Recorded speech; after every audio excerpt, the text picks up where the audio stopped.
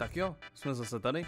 Sice po delší době, ale chtěli jsme vám přinést to nejlepší grido, který kdy bylo. A já už nebudu zdržovat a pojďme se podívat, co je nového v Grido Games 10. A jako první novinku tady máme nové menu.